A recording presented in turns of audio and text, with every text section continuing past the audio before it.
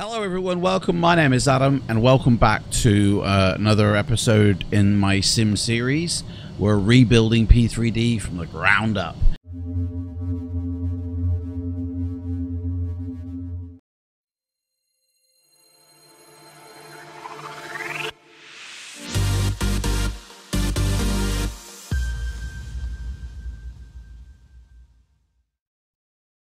And today we're going to have a look at FS Global, the next generation.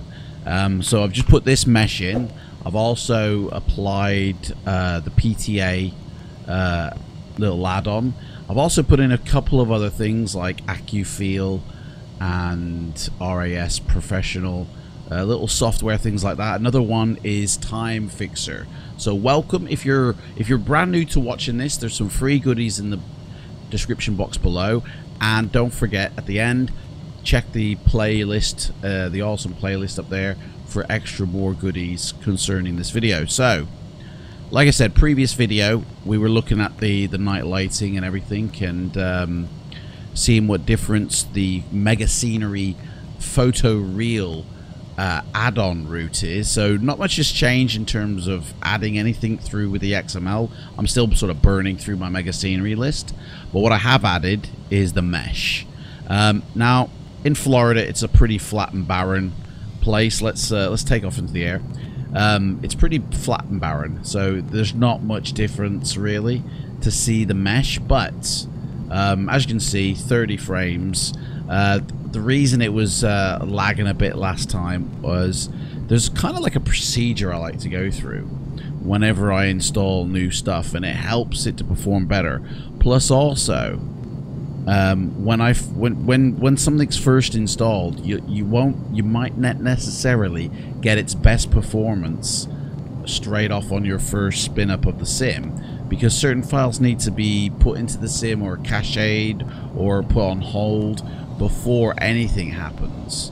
Um, and then you know when you go simming when you open up your sim the next time you'll find that it's more stable uh, once you've run it the first time. So what I tend to do whenever I'm installing something brand new is I'll install, run the sim for a bit, not, e not even take off sometimes, but just load into the sim, doesn't matter what airport, close the sim down, and then go run my either, like back when I was using Orbx Vector, it was the Orbx elevation data, but now I do blue marble and I run that index uh, refresh thing and it really does help to keep everything clean. Now as you can see, look, PTA really does put a nice spin on everything I think. This hazing off into the distance here, the blue cast on the ground, um, it really does help everything look nice and also it does help all the textures, I feel, as well, look a lot more pin sharp than they did before, which goes towards the realism, I feel, factor. Um, of course, you can't really tell much about the FS Global in Florida, um, but I'll tell you, this uh, this doesn't look too far off that uh, photo real terrain that we saw. Um, it looks pretty darn close, I feel.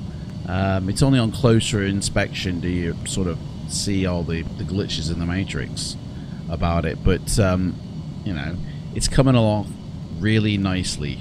Nice and sweet. Still haven't installed any aircraft or any major sceneries or airports. That's all coming a little bit down the road. Um, but what we will be doing is we will be installing um, some like Antarctica, the whole continent of Antarctica, you know, um, the Grand Canyon, a really, really good rendition of the Grand Canyon, photo real, you know, uh, just just looking gorgeous, basically. Um, but yeah, everything's performing well, everything's great.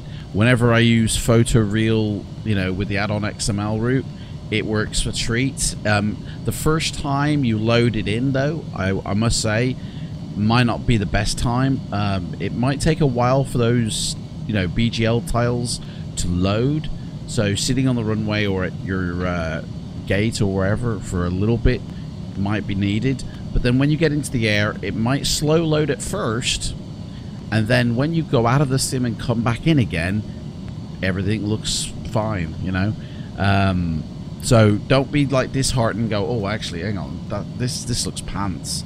If you've just ran it, so go back out, come back in.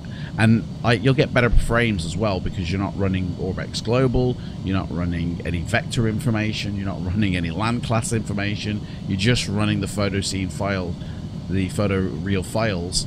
Um, but here we're running full Orbx. We're running, well, not full Orbx, we're running global base, we're running the land class of uh, North America. We're running, oh, I've got Orlando, the, um, the cityscape uh, of Orlando's running, but I can't really see it in this one.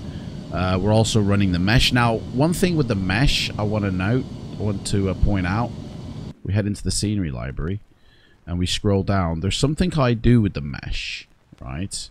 Um, and that is I untick the default mesh that comes with the sim, okay, because we don't need it if we've got this super duper one, you know, uh, one megapixel a, a, mile or whatever it is um, detail, uh, I untick him because we don't want it to load. And I only tick, as, as well as the local meshes, I only tick the area that I'm flying in. So I'm not flying in Antarctica, Africa, Europe, yada, yada, yada. I'm flying in North America, so therefore I only tick that mesh. I only want it to load in. You'll find load times are increased and smoothness of the sim is a little bit maintained better, especially if you haven't got much memory. I've got 16 memory. My memory is absolutely fine. In fact, I get my computer to flush my memory every 5 to 10 minutes, and I've created a process for my computer to execute every 5 to 10 minutes, and it'll flush the cache of my memory and and reset it and it really does help to help my uh, sim run smooth. In fact, that'll be one of the videos I pop up in the card above. So uh, go check that out after this video. But it really does help. Um, but every now and again, sometimes there is a slight pause or stutter like that. And that's basically the memory emptying off. It doesn't really affect the sim that much. But I feel that if it didn't do it, my memory could really clog up and get used very quickly. Um, and I just, yeah, I, I, I feel better knowing that it's running, you know? So, there we go. Right. Should we try and land this puppy? We haven't actually tried to land uh, any of these planes when we do this, so I don't know if I've... I think that's my wheels coming down. Let me just double check. I have pushed the button for them to come down, and yes, they have. So let's uh, let's try and land this puppy, yeah? Let's see how we can do. And then we can hear those call-outs for RAAS Professional and uh, see how well um, AccuFeel does with the default aircraft. So I don't know if we're going to make that one, to be honest. It's a little bit tricky. Um, we're too low, evidently. Okay. Striker, you're too low. You're too low. Pull up. Right. I don't think we're going to make it, to be honest. We're only got 160. Okay. I feel like we need to... Yeah, we need to pull up a bit. And I feel like I'm doing the Krypton factor here.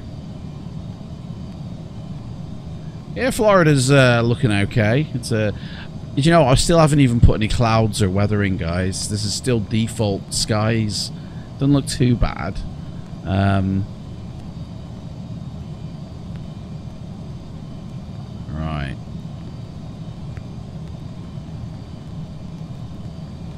I've got to remember what textures I was using for my clouds, to be fair. I had certain ones that I was using, and I can't remember for the life of me remember which ones they, that was. I don't think it saves it in any cloud, does it? Man, we're not going to make it. We ain't going to make it, guys. Alright, here we go. Here we go. Come on, here we go.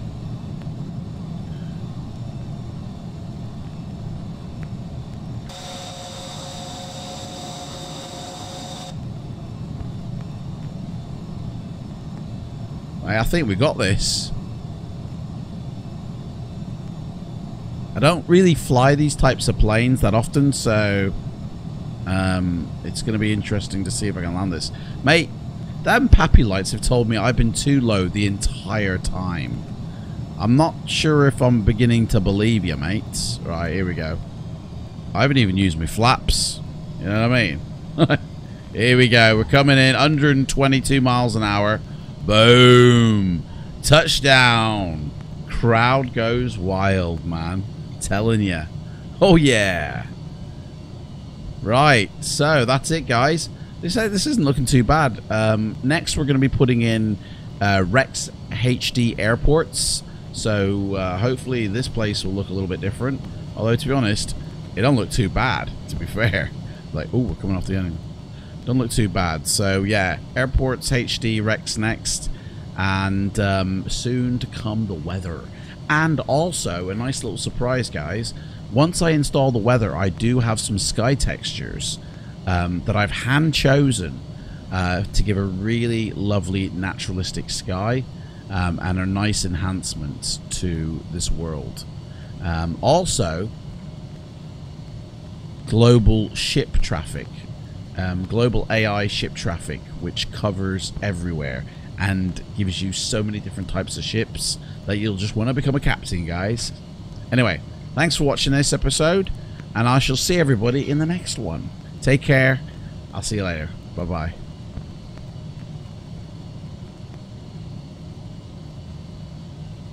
Whoa.